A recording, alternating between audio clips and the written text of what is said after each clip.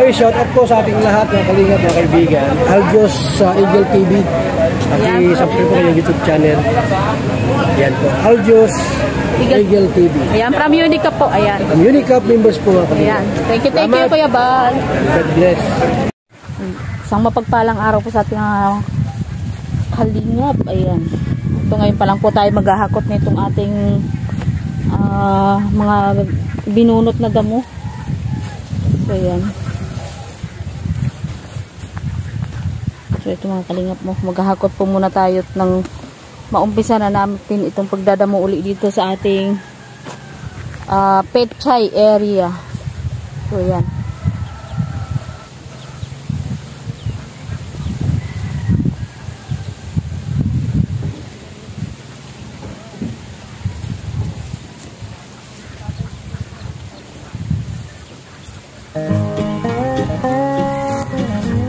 Medyo tirik ang araw ngayon dahil ano, hindi umulan.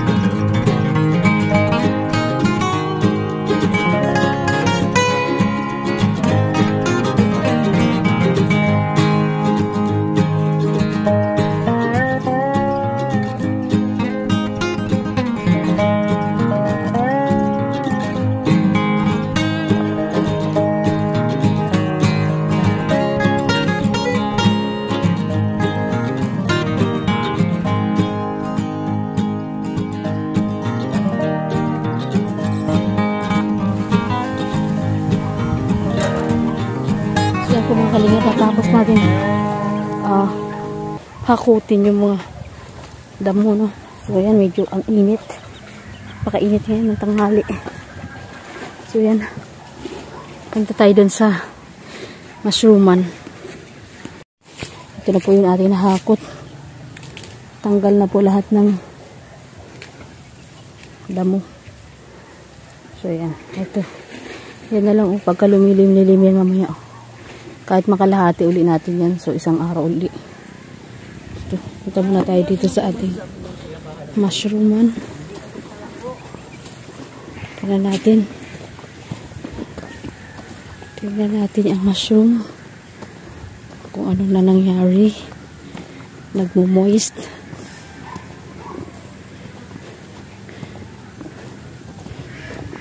so yan ang ating mushroom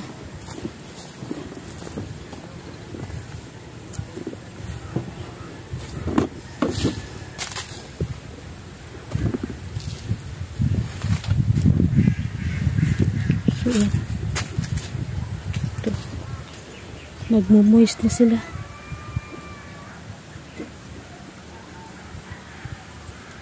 Tingnan natin ito.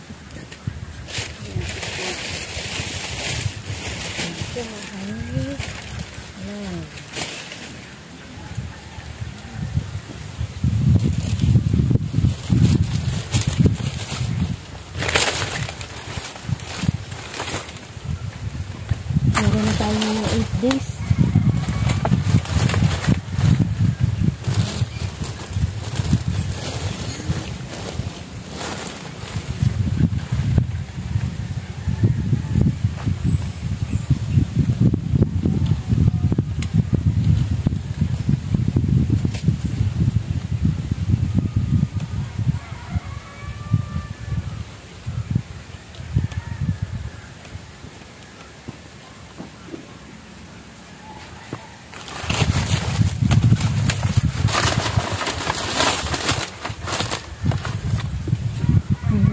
Natin mainit siya. So yun, puti natin dito sa kabila. Ito. Moist pa din. So, meron na po tayo ah walong araw. Walong araw na po sila nakatanim dyan.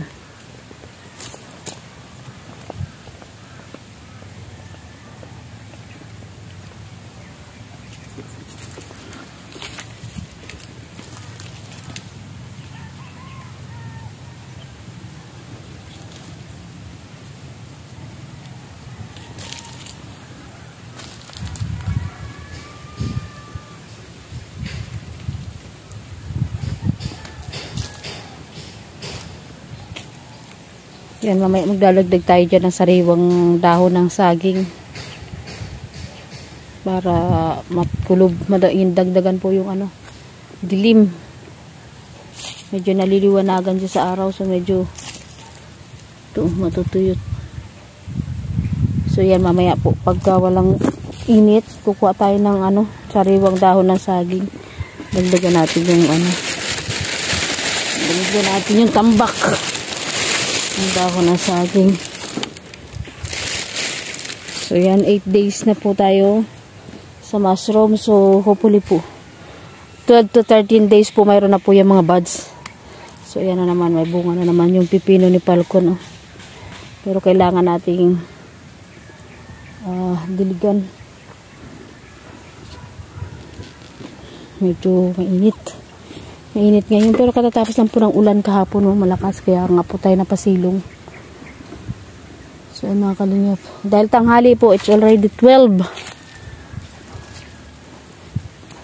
12 ng tanghali. So yan pati yung mga okra natin nalulungkot. Mamaya uli magdidilig uli tayo dito ng fertilizer. So sa ating mga mani oh. Ang ating mga mani eh medyo malaki na din. At yung mga okra ito hindi ko pa ito nabot na linis dito sa baba. Na. Pag naglilinis po kasi ako dito biglang uulan.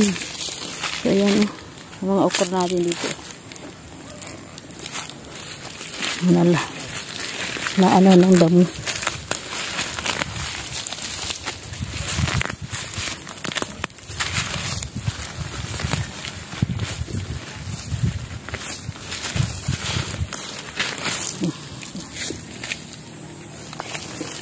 Tanggalin natin ng kunti.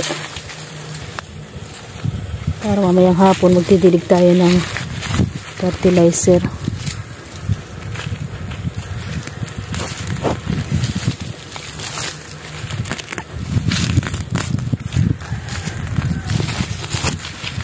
Yung ating mga okra.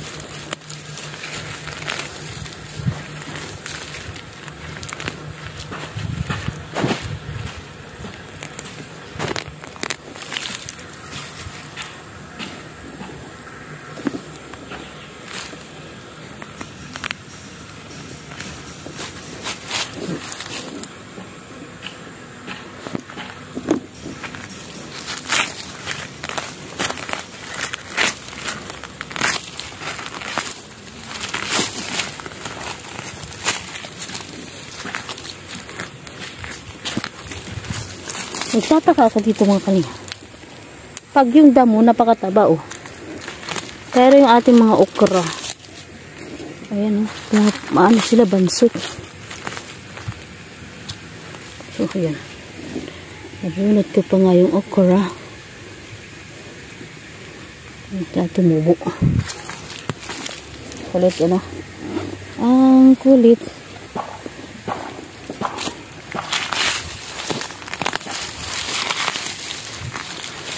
Wala kasi tayong dalang itak. So, ayan. Hablit-hablitin natin yung damo.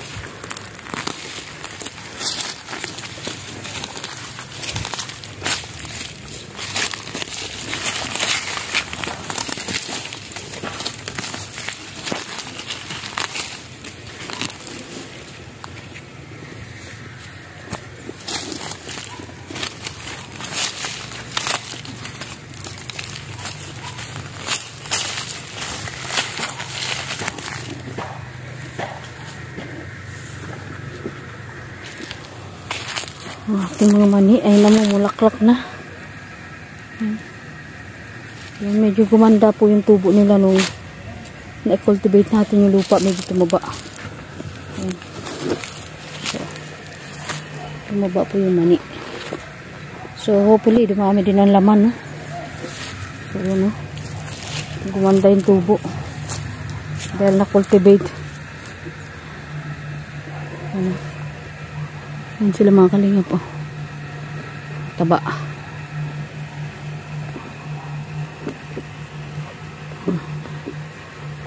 Tataba ng mga mani. So yan, hopefully ano na po to ngayon? Ah, June 24 natin ititinanim. So 1 month siya noong July 24. Oh, magto 2 months na po sila ngayong August 24.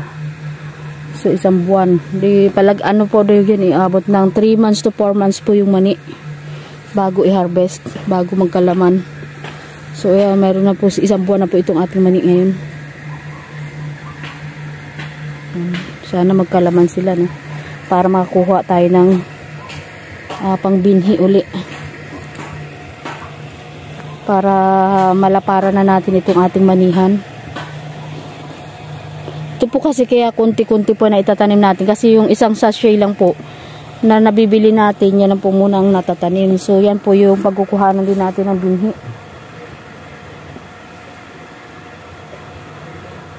So, binhi ng mani.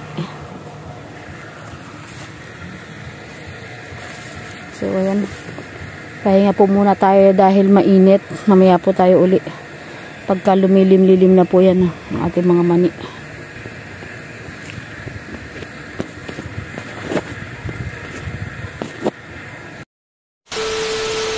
Po mga kalingap habang po mainit pa dun sa ating dadamuhan.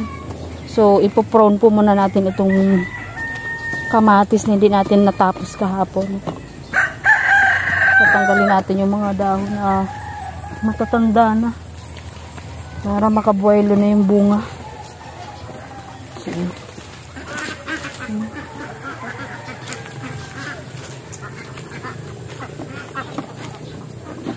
ipoprone natin yun.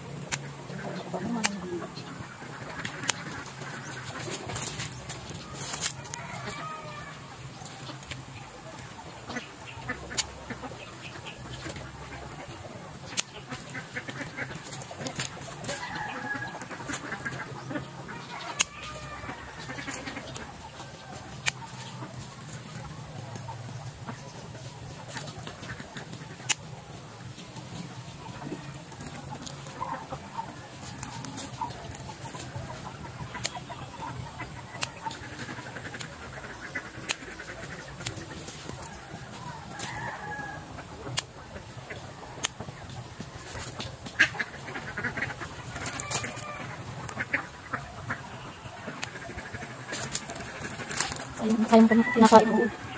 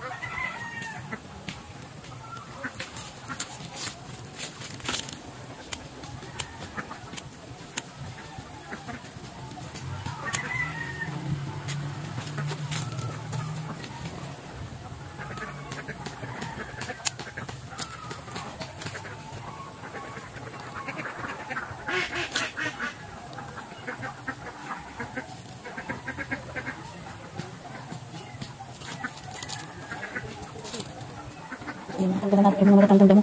So, maghanap tayo ngayon ng ano, ng lupa na pwede natin idagdag dito sa puno ng kamatis. So, mga kalingap. Tayo babalik na dun sa ating ginadamuhan.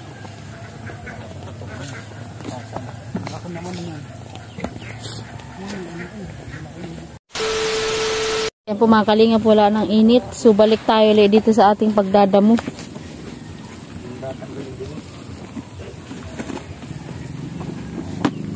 Yan, balik ulit tayo dito sa ating pagdadamo.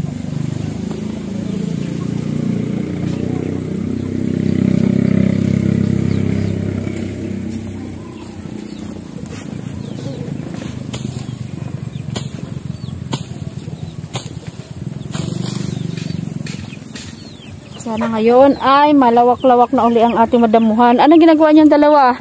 Nagbubuhat po. Tumutulong kayo?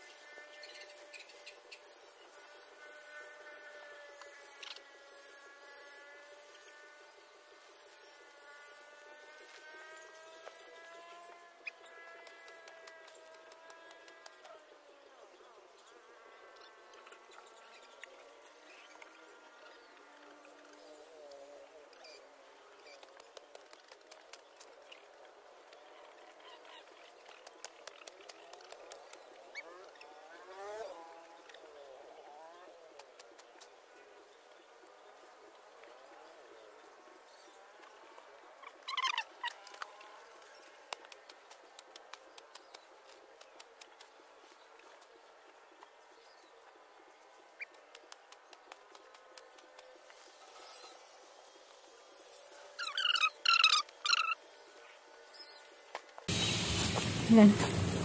Gagamit na lang muna tayo ng sundang. Kasi makukulit yung mga sisiw. Baka mamaya mahataw ko ng ano, mahataw ko ng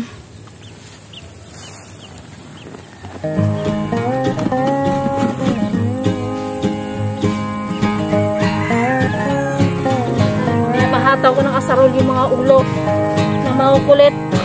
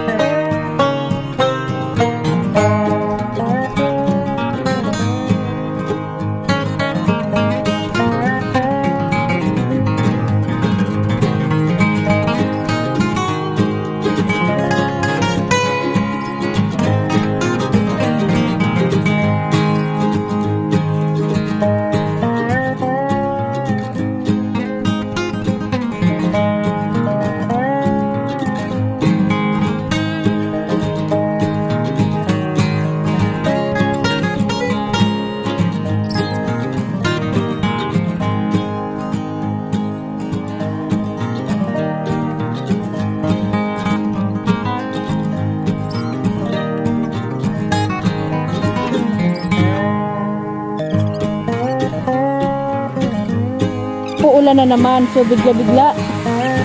Bigla-biglang ulan. No, sobrang init. Yan. Ano tayo mga karami niyang ginagawa natin. Oh, kakaunti pa lang niya ang ating naadadamuhan. Ay, grabe. Sobrang init, tapos biglang sobrang ulan. Di ba, Falcon? Falcon, tumakbo ka din, Falcon. Ay, naku, kanin.